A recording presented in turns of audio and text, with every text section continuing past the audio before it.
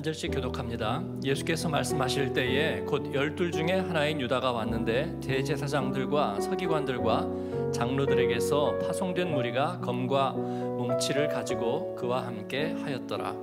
예수를 파는 자가 이미 그들과 군호를 짜 이르되 내가 입맞추는 자가 그이니 그를 잡아 단단히 끌어가라 했는지라 이에 와서 곧 예수께 나와 랍비어 하고 입을 맞추니 그들이 예수께 손을 대어 잡건을 곁에 서 있는 자 중에 한 사람이 칼을 빼어 대제사장의 종을 쳐 그 귀를 떨어뜨리니라. 예수께서 무리에게 말씀하여 이르시되 너희가 강도를 잡는 것 같이 검과 몽치를 가지고 나를 잡으러 나왔느냐? 내가 날마다 너희와 함께 성전에 있으면서 가르쳤으되 너희가 나를 잡지 아니하였도다. 그러나 이는 성경을 이루려 함이니라 하시더라. 제자들이 다 예수를 버리고 도망하니라 아멘. 내친 김에 내일은 우리 아이들 일어나서 암송할 거예요. 마서 5장 10절 딱 일어나서 암송 시킬 겁니다. 잘 하고 준비돼서 예, 엄마 아빠가 가자 그러면 벌떡 일어나서 이번 주간은 그렇게 하는 거예요. 예, 우리 자녀들만 아멘. 아멘 안 해. 예, 우리 자녀들 아멘.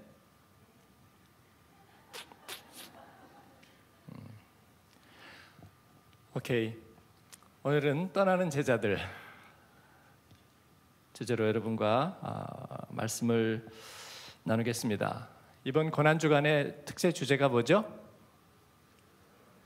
자, 우리 아이들만 대답해 보세요. 모르죠? 예, 그 보고 오세요. 보고. 우리 핸드북이 있거든요. 그 아이들에게도 보여주세요. 보여주시고 네. 가르쳐야 알지 그렇지는 몰라요. 그냥 가만히 있으면 모릅니다. 몸만 왔다 가지 영혼은 없어요. 예, 어릴 때도 알려주세요. 뭐죠 이번 주 주제가 그리스도 안에 있는가? 그리스도 안에 있는가? 우리가 그리스도 안에 있는가? 예, 이것이 중요하다. 왜 중요한가? 예, 얘기해 주세요. 예, 엄마 아빠 예수님 없이 우리는 이제 살 수 없으니까 너희도 마찬가지야. 그러니까 너희들이 이 엄마 아빠의 믿음과 하나님 사랑을 이해해야 돼. 너희도 그 안에 있어야 돼. 그래야 우리는 사는 거야. 그렇습니다. 예, 전쟁통에 부모하고 자녀가 헤어졌어요. 예, 그게 일생의 슬픔이 되는 거예요. 예, 가족은 헤어지면 안 돼. 특히나 서로 마음이 달라지면 안 돼. 아내는 예수님을 사랑하고 그 은혜 가운데 인생을 조정하고 사는데 남편은 마음이 달라요. 그러면 행복하지 않은 거예요. 서로 예. 그들이 마음속으로 하나님을 섬기고 사랑하는 이유가 뭔지를 알아야 돼. 예. 그리고 서로 이것을 옹호해 줄 수 있어야 돼.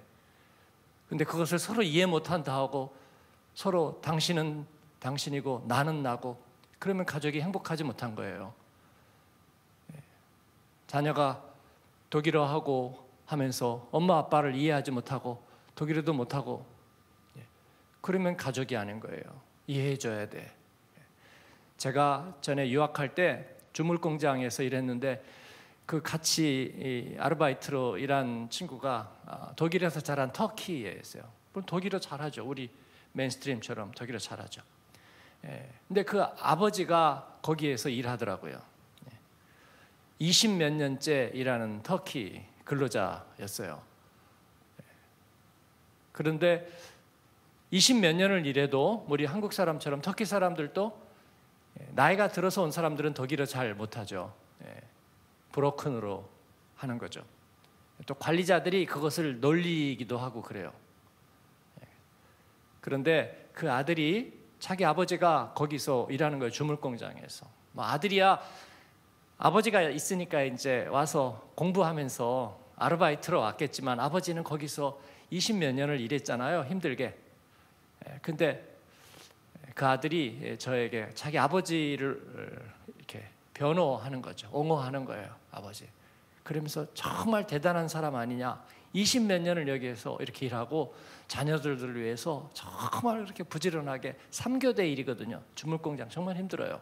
쇳가루가 계속 날리고 저도 거기서 다 손톱 하나 빠졌는데 10kg짜리 이거 손톱에다 떨어뜨려 가지고 아, 정말 힘들거든요. 작업 환경도 예, 독일 사람들 깨끗하게 하긴 하지만 그렇게 좋지는 않아요. 예, 거기에서 20몇 년 일한 아버지를 옹호하는 걸 봤어요. 아, 제가 야, 다시 생각했어 멋지다. 네, 우리의 자녀들이 부모를 옹호해줘야 돼요. 예, 우리 엄마 독일어도 안 되고 우리 아빠는 우리하고 생각이 다르고 그렇지 않은 거예요. 네. 우리가 서로 그리스도 안에 있는 것을 서로 격려해주고 축복해줘야 되는 줄로 믿습니다.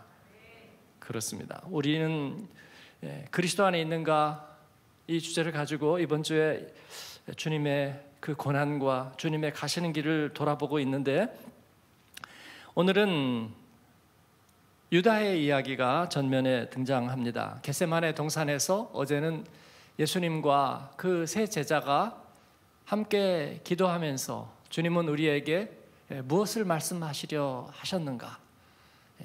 우리가 기도의 자리에 주님의 기도의 자리에 나아갈 수 없는 그때에 주님은 우리에게 무엇을 해 주시는가? 또 우리를 대신하여 어떻게 기도하시는가?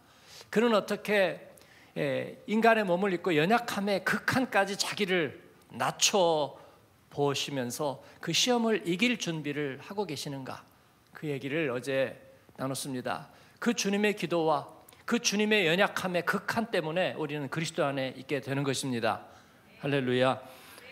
오늘은 그런데 예수께서 말씀하실 때에 예수님이 일어나 이제 함께 가자. 뭐, 예, 이제는 그만 쉬어라. 그랬더니 금방 일어나 함께 가자. 네. 그러고 있는 바로 그때에 누가 나타나면 유다가 나타납니다. 오늘은 유다에 대한 이야기가 상당히 나올 거라고 생각합니다. 예, 43절 같이 한번 읽으시면 예수께서 말씀하실 때에 곧 열둘 중에 하나인 유다가 왔는데 예, 열둘 중에 하나 12분의 1 예수님의 열두 제자 중에 하나인 유다가 왔다고 얘기하고 있습니다. 그러나 그는 이 마가복음에서 이미 내놓은 자식입니다. 열둘 중에 하나라고 해서 같은 가치를 가지고 있는 존재가 아닙니다. 마가복음은 이 유다에 대해서 세 번을 소개하고 있는데 예, 첫 번째는 3장 19절입니다. 3장 19절에 뭐라고 그를 소개하고 있느냐면 그의 존재가 어떠한지를 마가복음은 어, 처음 유다가 등장할 때 이미 평가를 하고 있습니다. 뭐라고 평가를 하고 있느냐면 예수를 판자라고 얘기하고 있어요. 그는 처음부터 예수를 판자였습니다. 여러분은 성경을 배우거나 예수님의 제자 이야기를 들을 때 아마 유다에게 줌파티를 가지고 있었죠. 예, 동정. 그래서 예수님이 사랑이면 유다도 사랑하고 구원하지 않았을까? 유다도 예수님이 구원하야 되지 않았을까? 아, 그런 생각을 하셨죠? 안 했어요? 저는 옛날에 그런 생각 많이 했어요. 네. 제가 한맘교회 초기에 유다를 옹호하는 설교를 한 적도 있어요. 유다의 배신을 옹호한 게 아니라 유다에 대한 예수님의 사랑이 컸을 거다라는 생각을 어, 가지고 있었어요. 어, 물론 예수님의 은혜가 그만큼 크다 하는 생각으로 그렇게 했었는데 그러나 이 유다는 성경에서 처음부터 예수를 판자로 소개하고 있어요. 너무 가혹하지 않느냐고요.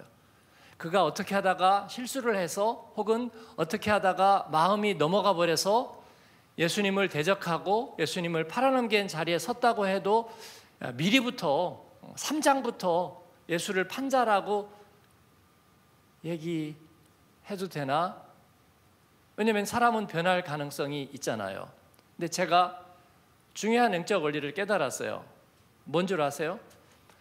기도의 영적 원리 때문인데 주님께서 너희가 구한 것은 받은 줄로 믿으라.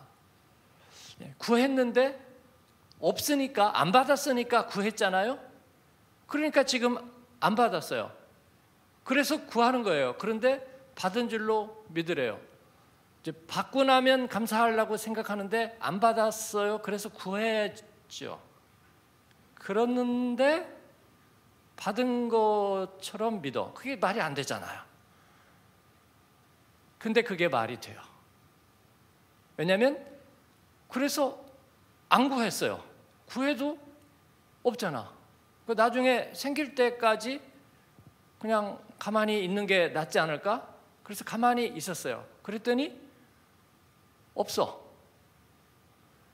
그리고 어떻게 하다가 있기도 해요. 내가 구하던 것이 나에게 주어지기도 하는데 근데 구하지를 않았어. 그러니까 내가 하나님께 받은 건지가 분명하지 않아. 인생이. 그래서 그 다음 드는 생각은 뭐예요? 받든지 못 받든지 구해야 되겠구나. 그런데 구했어요? 그랬더니 시간이 지나면서 그게 받았어. 이루어졌어. 오래 걸렸네. 근데 한참 지나고 보니까 그 시간차가 느껴지지 않아. 그렇죠? 네. 우리가 이 성전을 지으려고 할 때는 정말 암담했어요. 아, 우리가 디아스포라에서 교회를 짓는 게 진짜 가능할까? 아, 우리 리더십들하고 몇 년을 어, 그렇게 하다가 아, 한마음교회 저기에 성전에 대한 생각을 하나님 주셨는데 그 얘기를 꺼내면 교인들이 떠날 것 같았어요. 예, 목미 예, 무슨 교회 얘기를 하시는 거예요. 어, 저희가 오브오젤에 있을 때도 뭐 우리가 못하면 우리 다음 세대라도 하게 디아스포라에 성전이 필요한데 예, 땅이라도 사놓으면 한번 제가 슬그머니 얘기를 꺼냈는데 우리 리더십과 성도들이 그냥 아무도 못 들은 것 같았어요. 아무 얘기를 안 하시더라고요. 아 그래요 목사님 제가 하겠습니다. 그렇게 얘기할 수도 없었을 거고요. 우리가요 뭐 어떻게 해요? 돈이 한두 푼이에요. 땅 예. 하여튼 얘기가 안 되는 거죠 우리가 예. 두 시간 빌려서 간신히 예배드리고 집에 가는데 예. 뭐 그렇게 할 수가 없잖아요. 저는 어, 그때 제가 이제 건축 헌금을 시작을 했죠. 근데 저만이 아니고 그때도 어, 액수는 작아도 건축 헌금 하시는 분이 계셨고요. 또 왔다가 한국에 이제 금방 가시는 분들이 그분들은 뭐 성전을 어느 세월에 지어서 자기가 그 혜택을 보겠어요? 근데 그와 상관없이 하나님 앞에 소원을 올려드리는 이들이 있었습니다. 소원이 없이 어떻게 응답이 있겠어요? 그리고 세월이 흘렀잖아요. 그리고 이제 건축을 하려고 마음을 먹을 때 저희가 예산이 없으니까 어, 시나 이런 데서 싸게 주는 뭐 땅이나 아니면 장기로 이렇게 빌려주는 땅이나 아니면 그런 집이 있으면 저희가 빌리거나 사서 개조를 하는 이제 그런 식의 연착륙을 생각했어요. 그래서 시장들을 주위에 있는 시장들을 다 만나고 아는 데다가 다 다리를 넣고 하는데도 이게 쉽지가 않아요. 약간 비슷한 데가 크론베어 오버헬슈타트 쪽에서 이제 있었는데 얘기를 하고 한참 하는데 결국은 어, 돈이었어요. 우리가 아, 아주 조금 가지고 있는 걸로는 어림 택도 없다. 리더십들이 그때 몇 년을 그렇게 하면서 결론을 내렸어요. 목사님 안 됩니다. 우리는 그럴 만한 데도 안 나오고 우리는 지금 그럴 실력이 안 되니까 예, 그냥 우리는 이렇게 이렇게 하는 게 좋겠습니다. 그래서 접었어요. 공식으로 접었고 그리고 몇 년 지나다가 또 다시 또 저에게는 그런 생각이 있었어요. 제가 아, 그렇게 얘기를 꺼내놓고 만약에 아, 여기를 교회를 안 지키고 이제 한국으로 돌아간다면 예, 누가 아, 나 떠나면 누가 할까? 늙으신 부모 모실까? 찬송가가 아니라 유행가예요. 아, 그런 생각이죠. 제가 아, 해야죠. 왜냐하면 우리가 BPR 지붕이 필요한 게 아니라 디아스포라의 플랫폼이 필요하죠. 할렐루야. 그런 거죠. 결국은 뭐 제가 한 게 아니라 하나님이 하셨고 또 우리 성도들이 하셨죠. 뭐 저도 물론 같이 했어요. 그런데 지나고 나니까 그리고 이제 이 땅을 정말 우연처럼 찾았잖아요. 땅이 없는데 마지막에 이제 포기합시다 하고 있다가 우리 리더십들 모인 자리에서 제가 부동산 사이트를 들어가 갔는데 잘못 들어갔죠. 예. 잘못 들어가 가지고 이 땅이 딱 뜬 거예요. 어, 나중에 다시 찾으려고 그러니까 예, 우리가 원하는 부동산 거기에는 그게 없었어요. 근데 제가 잘못 들어가서 찾은 거예요. 그때 기억이 나요. 김인수 집사님이 어 괜찮네 이거. 그리고 누구 보고 알아보라 그랬죠. 가서 빨리 알아보세요. 그래가지고 우리가 시작이 된 건데 그리고 나서도 오래 걸렸잖아요. 어, 몇 년이 걸려서 제가 그 생각을 했어요. 아, 이거 몇 년이 돼야 도대체 들어가긴 들어가나 속으로 그런 마음이 있었는데 며칠 전에 생각해 보니까 벌써 3년 됐어요. 교회가 지금 낡아지고 있어. 네? 낡아지고 있다니까요. 뭐 세월이 빠르다 그렇게 얘기할 수도 있겠고요. 뭐 다 지나가는 거야 그렇게 여러분 비관적으로 얘기할 수도 있겠지만 구하고 받은 게 시차가 없어져 버렸어요. 그렇지 않을까요?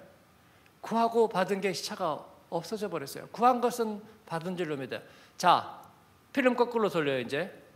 따라오세요. PD가 편집하느라고 이거 빨리 돌린 거야. 드르륵 가지고 2001년, 2년 어느 날 시점으로 새벽으로 가요. 하나님께서 마음을. 예. 뭐 황당한 생각이라면 그리스도인이라면 누구나 다 할 수 있지. 뭐 세계는 나의 교구 주세요. 그런 거 말고 정말 하나님이 손을 드르륵 주셔요. 근데 그때 그 순간에 그 손을 잡아 마라. 어, 졸려 죽겠어요. 뭐 그런 생각해서 뭐예요? 네. 오케이, 뭐 유럽을 하나님께서 복음화 시키기를 원합니다. 끝. 그게 나하고 무슨 상관이 있어요? 여러분하고 무슨 상관이 있어요? 어, 뭐 북한이 열리기를 뭐, 뭐 우리 할머니 때부터 해온 얘기야. 예, 그게 뭐 나하고 무슨 상관이 있어요? 근데 그게 진정성이 되는 순간, 그건 하나님을 향해서 올려지는 거죠. 그리고 그때로부터 시작해서 이루어지는 거예요. 그러니까 구한 것은 받은 줄로 믿어요. 그래서 받은 거예요. 실현이 되는 거야. 그렇다면 다시 드르륵 거꾸로 돌아가면 그 지점이 없었다면 되지 않는 거예요. 여러분 그렇게 믿으세요? 그렇지 않다면 이건 우연인 거야, 우연인 거야. 모든 것이 세상 만사가 다 우연인 거야. 여러분 자녀들이 태어난 것도 안 태어날 뻔했는데 어떻게 하다 태어났어? 우연인 거야. 그 얘기는 뭐냐면 없어져도 할 말이 없는 거야. 중간에 없어져도 없어져. 네? 왜냐면 우연히 생겼는데 우연히 없어지는 거지 뭐. 그렇잖아요. 네. 우연히 생겼는데 우연히 없어져야지. 없어져. 정발이야. 되는 일도 없어. 될 수도 있고 안 될 수도 있어요. 예, 그렇게 인생 살아도 돼요. 세상은 그렇게 살지. 그러나 우리는 그러지 않잖아요. 구한 것은 받은 줄로 믿어요.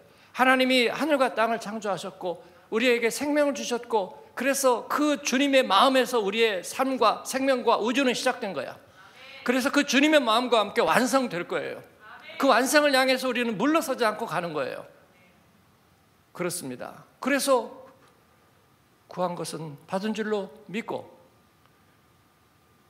마지막에 결과는 이미 처음에 그 동기에 motivation에 이미 나타나 있고 더 심하게 얘기할까요?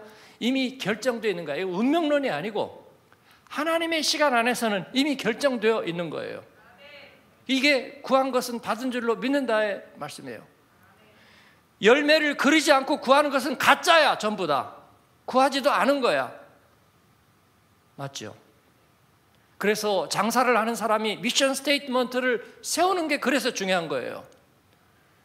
우리가 잘 되면 결과는요, 금방 나와요. 몇 년? 그거 금방 지나가요. 그런데 mission statement가 가짜였어요. 그럴 생각이 없었다고, 처음부터. 여러분이 kingdom company 금방 돌아와요.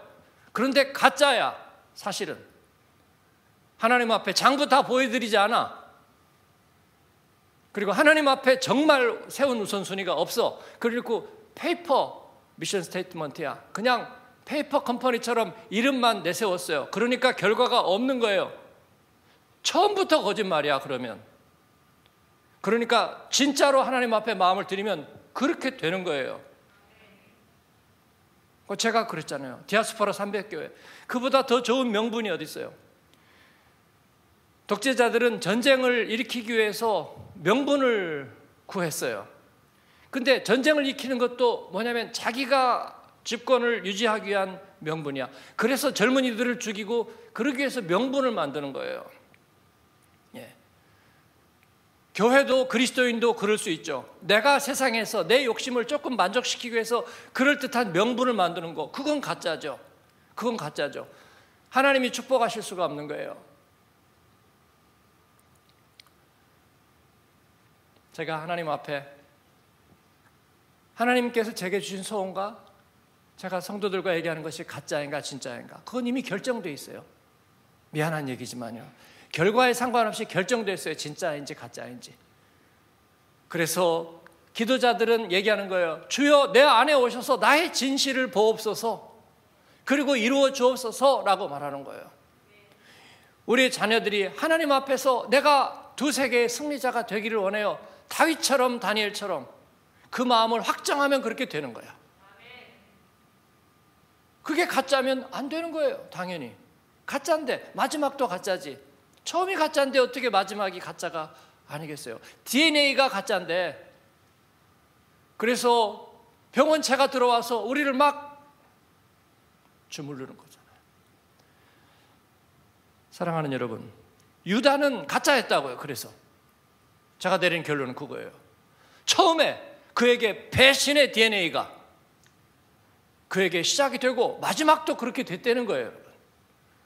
잘하려고 그랬는데, 잘하려고 그랬는데 어떻게 하다 보니까 그래가지고 그가 악역을 맡게 되고 예수님도 그럴 거면 조금 더 사랑했으면 얘가 그러지 않았을까? 아니요, 3장 19절부터 그는 예수를 판자러라 였어요. 그는 예수님의 제자의 12분의 1이 아니었어요.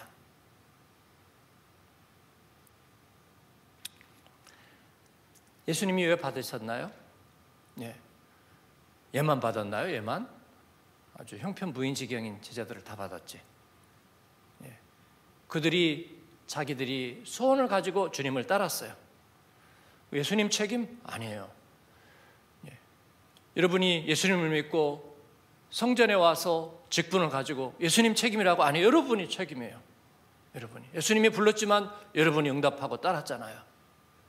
그래놓고 하나님이 나한테 왜 이러냐고요? 그렇게 얘기할 수가 없는 거예요. 그런 얘기를 하다 보면 제가 제일 많이 하겠죠? 내가 어떻게 하다가 이 길로 들어서 가지고 내가 이런 꼴을 보는 거야? 예. 화 있을진저 그렇게 말하는 자요. 예. 주님의 은혜를 받고 은혜 앞에 응답하고 와가지고 자 천국에 갈 때도 데살로니가 전서에서 사도 바울은 이제 가족이 먼저 세상을 떠난 사람들에게 그리스도 안에서 자는 자들이라고 말하면서 그날에 우리 살아있는 자들도 결코 앞서지 못하리라 그렇게 얘기합니다. 즉 하나님의 영혼과 주님 앞으로 가게 되면 시간이 없어져.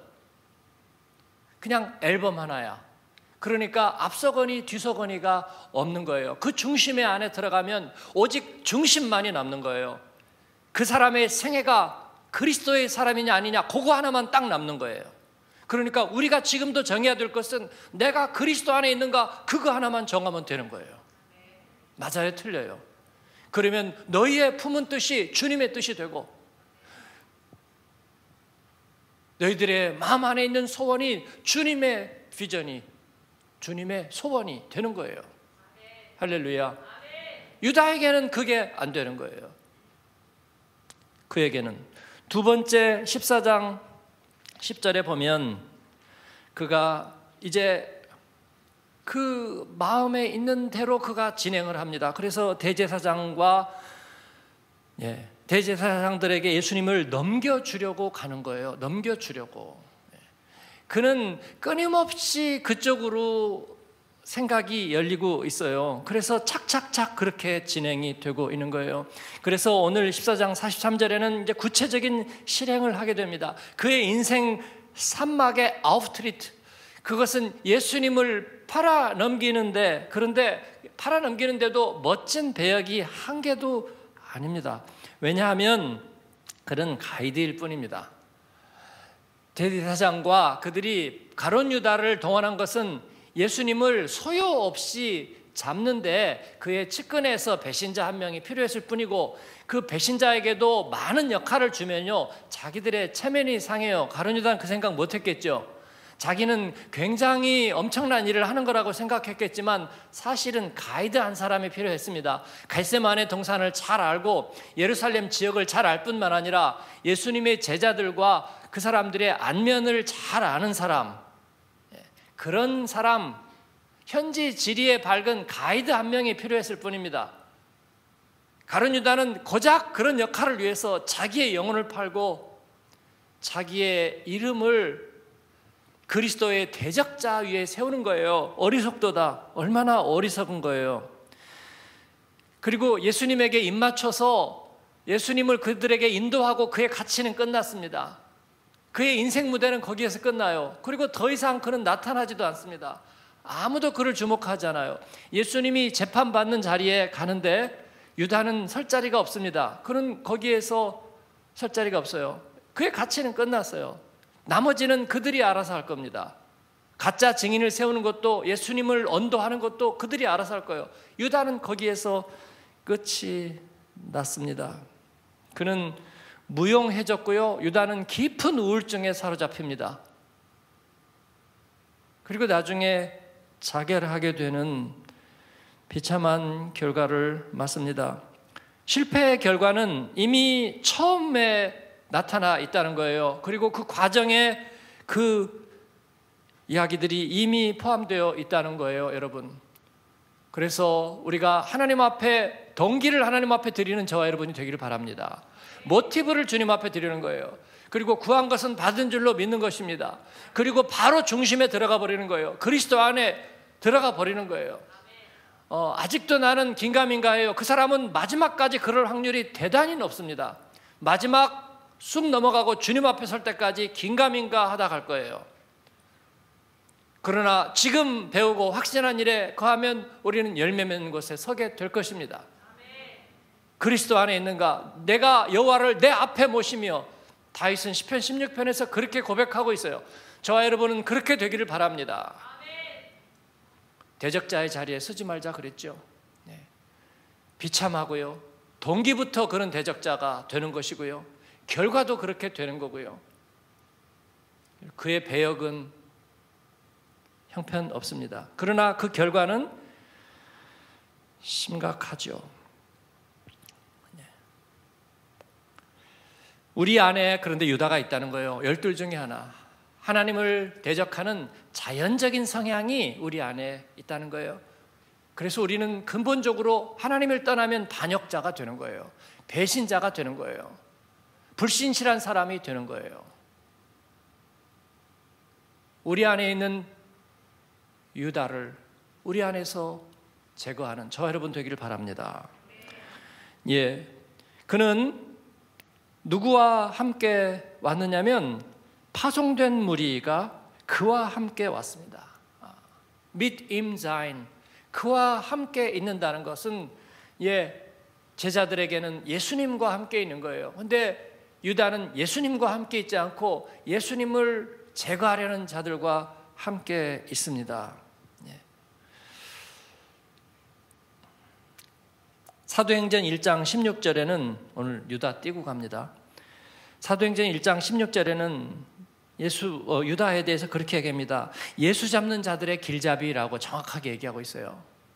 예수 잡는 자들의 가이드로 쓰임 받았다. 그런 것입니다. 그런데 그 결과는 심각합니다. 제자들이 와해됩니다. 왜냐하면 우리가 그렇게 생각하죠. 우리는 사람에게 의지하지 않아. 우리는 사람 보고 예수 믿지 않아. 맞습니다. 하나님 보고 믿습니다. 그런데 서로에게 영향은 받습니다. 그래서 제자의 삶은 공동체입니다. 우리가 그리스도의 삶은 공동체예요. 우리가 같은 지체예요. 우리가 한 몸이 되는 것입니다. 서로 연락하고 상합하여 그리스도의 몸을 이루는 거예요. 그래서 한 지체가 아프면 다른 지체가 같이 아픈 거예요. 한 지체가 일어서면 우리가 함께 그래서 함께 울고 함께 기뻐하고 시와 찬송과 신령한 노래로 서로 화답하고 사랑과 선행으로 서로 격려하고 그리고 그리스도의 몸을 세우는 거예요, 여러분. 그런데 유다가 암세포가 되니까 이 열두 제자 크라이스가 무너져요. 오늘 50절은 그 마지막이 뭔지를 보여주고 있습니다. 제자들이 다 예수를 버리고 도망하니라. 그 바이러스 앞에서 무너지는 것입니다. 44절에 예수를 파는 자가 이미 그들과 군호를 짜 이르되 내가 입맞추는 자가 그이니 그를 잡아 단단히 끌어가라. 잡아 단단히 끌어가라고요. 예수님은 자기가 자원해서 그들 앞에 서십니다. 니들이 나를 잡아가는 게 아니라 개를 잡으러 왔니? 몽둥이를 가지고 왔어. 예수님이 허허 웃습니다. 유다가 예수님을 알아보고 그를 포박하려 했지만 사실은요 감남산 동산은 굉장히 조명이 어둡습니다. 나이트도 없었어요. 그래서 그들이 소요가 없이 예수님을 만약 예수님이 사람들에게 이렇게 보호를 당하고 있고 막 베드로가 앞에서 예, 예, 요즘으로 막 쉴드 친다 그러죠. 막 쉴드 치고 막 이렇게 해가지고 있었으면 쉽지 않았을 거예요. 예수님이 앞으로 탁 나서는 거죠.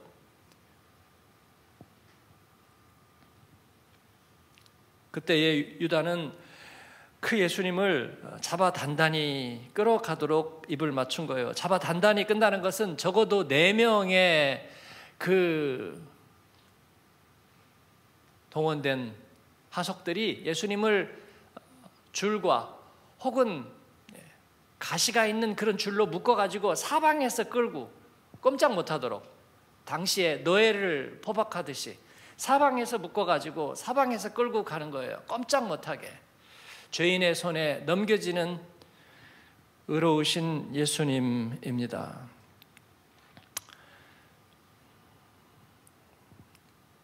그 중에 47절에 보면 마가복음은 그가 베드로라고 얘기하지 않습니다. 곁에 서 있는 자 중에 한 사람이 칼을 빼어 대제사장의 종을 쳐 그 귀를 떨어뜨리니라. 예, 마가복음은 왜 그 이름을 밝히지도 않고 이 이야기를 지나가듯이 얘기하고 있을까요? 이건 대세에 전혀 중요하지 않다는 것을 말하는 거예요. 예, 이 하석 중에 그 잡으러 온 사람 중에 한 사람에게 칼을 빼서 이 귀를 쳤다는 거 그거 하나 대세에 영향을 미치지 못해서 이 마가는 그것에 대해서 그렇게 위대하게 보지 않습니다.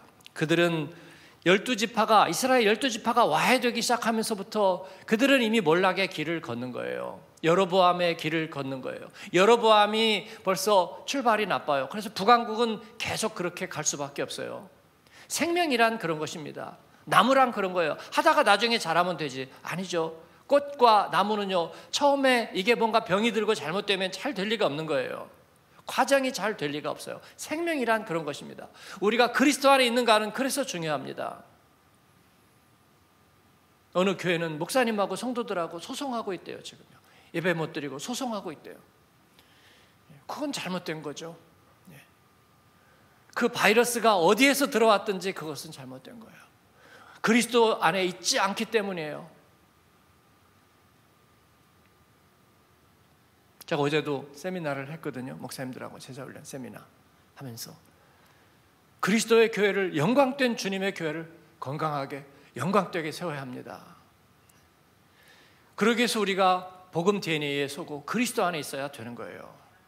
모여서 회의를 잘하고 문제점 찾아내고 그건 예수의 공동체가 아니거든요. 예수님은 49절 말씀 같이 읽을까요? 내가 날마다 너희와 함께 성전에 있으면서 가르쳤으되 너희가 나를 잡지 아니하였도다. 그러나 이는 성경을 이루려 함이니라 하시더라. 아멘. 예수님은 그들의 비겁함과 사악함을 동시에 보셨습니다. 오해하지 마세요. 예수 믿으니까 왼, 오른쪽 밤 때리니까 왼쪽 밤도 때려대세요. 내가 잘못했어요. 내가 잘했더라면 어, 내 탓이요. 내가 더 잘했더라면 아니요. 그렇지 않습니다. 우리가 잘했더라도 불신앙은 불신앙일 겁니다. 예수 그리스도를 받아들이지 않을 겁니다. 우리가 달동네에 연탄 들고 올라간다고 세상이 세속화를 멈추고 주님 앞으로 돌아올까요? 저는 그렇게 보지 않습니다. 서울역 앞에서 예수천당 불신지옥 그게 불쾌감을 불러 일으켰기 때문에 사람들이 교회 나가지 않는 것일까요? 저는 그렇게 보지 않습니다. 틀린 얘기 했나요? 세련되지는 못했지만 물론 틀린 얘기 했나요? 교회가 화려한 예배당 대신에 달동네에다가 비닐하우스를 치면 사람들이 주님 앞으로 돌아올 거예요. 저는 그렇게 보이, 보지 않습니다. 예수님은 그래 미안하다 미안하다. 내가 와서 시간이 없었구나. 시간이 없어서 더 많은 사랑을 보이지 못해서 내가 제자 하나도 제대로 단속하지 못해서 이렇게 되었구나. 미안하다 내 탓이다. 그렇게 말하지 않았습니다 엄마들은 그렇게 말하지 마세요. 내 기도가 부족해서 우리 아이들이 그렇다고. 내 눈물이 더 부족해서 내 사랑과 내 정성이 부족해서 그러지. 자식들 니들이 잘해라. 엄마 불쌍한 줄 알고 아빠도 불쌍한 줄 알고 너희들이 잘해라. 예. 물론 내가 하나님 앞에서 더 잘해야 된다는 건 분명하지만 분명하지만 그러나 불신앙이 인정받을 수는 없는 거예요. 그 배신과 반역의 마음이 인정받을 수는 없는 거예요. 네, 그렇습니다. 우리 안에 있는 유다를 깨야 됩니다, 여러분. 그렇지 않으면 선한 마음을 사로잡아서 하나님의 일을 망하게 할 거예요. 그러면 안 됩니다. 예수님은 이를 분명히 보셨습니다. 그들 안에 있는 비겁함과 사악함을 분명하게 보셨고 그들 안에 믿음 없음과 불의를 보셨습니다. 그래서 그들은 너희는 너희의 일을 하는 거예요. 그러나 예수님은 자신의 계획을 따라 행하십니다. 하나님의 계획을 따라 행하시는 거예요. 하나님은 우리 안에 소원을 가지고 행하시는 거예요. 제자들은 다 예수님을 버리고 떠나갔습니다.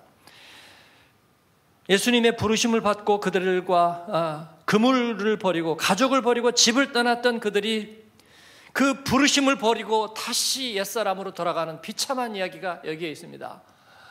예. 바로 그 불신앙의 뿌리 하나가 그리스도 밖으로 그들을 내모는 거예요. 다시 신락원을 만드는 거예요. 여러분, 우리가 그렇게 하면 안 됩니다. 이 고난 주간의 진실이 뭔 줄 아십니까? 예수님은 우리를 위해 죽으셨지만 또한 우리를 통해서 죽으셨습니다. 그 떠나는 제자들과 그리스도 밖에 있는 이들과 그들의 잘못된 출발에 의해서 예수님은 죽으셨어요. 이를 알고 계셨고 주님은 그렇기 때문에 자신의 구원을 이루신 것입니다. 31절에 그들이 주님 앞에 맹세하죠. 그 맹세는 확인 되어야 합니다. 베드로가 힘있게 말하되 내가 주와 함께 죽을지언정 주를 부인하지 않겠나이다. 우리는 이것을 확인해야 돼요. 여러분의 인생에 저와 여러분의 인생에 주님 앞에서의 확인이 뭔지 하다 보니까 안 됐어요. 요즘 어려워 가지고 안 됐어요인지 아니면 나는 주님의 사람입니다인지 그걸 확인해야 돼요. 유다의 입맞춤인지 베드로의 맹세인지 이것을 확인해야 되는 것입니다. 소파에서 예배를 드리는 여러분에게도 확인해야 됩니다. 내가 하나님 예배자인지 아니면 세상에 목마른 사람인지 그걸 확인해야 되는 거예요. 주님은 그것을 확인하는 것입니다. 그리고 베드로에게 너의 고백을 인정한다. 그리고 내가 너를 다시 회복시키고 일으켜 주리라. 그러나 여러분 제가 주님 떠나 있는 동안에 아무 일도 일어나지 않았다. 은혜를 잃어버리고 식어 있는 동안에 그럴 때 하나님이 회복시키셨다. 그러니까 이제 고난 끝 행복 시작. 그거는 아니에요. 돌아간 길에 대한 대가는 치르게 되더라고요. 바울이 주님 믿는 사람들을 포행하고 억압하고 핍박했습니다. 주님이 그를 받으셨고 돌이켜 세우셨습니다. 그러니까 이제 아 지나갔어요. 지나갔어요. 나는 행복합니다. 나는 행복. 그러지 않았어요. 네가 나를 위하여 받을 고난을 너에게 알게 하겠다 그랬습니다. 네, 거저 되는 일은 없습니다. 여러분. 저도 종종 제가 고통을 치러야 되는 일이 있다면 제가 예수님을 만난 이후에 겉돌았던 그 시절에 대한 값을 치르는 거라고 저는 생각해요. 하나님이 그것을 다 쳐가지고 우리에게 안 갚음을 한다는 뜻은 아니에요. 그러나 주님은 값을 치르시는 거예요. 여러분의 불신앙은 대가가 있어요. 여러분이 상한 음식 먹으면 반드시 대가가 있습니다. 속 상하거든요. 불신앙의 대가가 왜 없으리라고 생각 그러면 여러분 오늘은 놀고 먹고 내일은 우리가 잠깐 배신하고 그러자 하지 않겠어요? 하나님의 은혜니까 내년이면 다시 돌아가리라 그런 일은 없다는 거예요. 대가를 치르게 될 거라는 거죠. 우리는 그리스도 안에 회복되면 그리스도 안에 있겠지만 그러나 우리에게는 치러야 될 몫이 있는 거예요. 주님은 제자들을 의지하지 않으셨습니다. 세상 구원은 오직 하나님의 역사입니다. 제자들에게 달려 있지 않습니다. 주님만이 능력이시며 주님만이 우리의 구원이 되십니다. 그래서 우리는 그 주님께 우리의 동기를 맡겨드려야 됩니다. 우리들의 과정을 주님 안에 있게 해야 됩니다. 구한 것은 받은 줄로 믿어야 하고 그래서 구해야 합니다. 우리는 바로 그리스도 안으로 들어가야 되고 그의 중심 안에 있어야 합니다.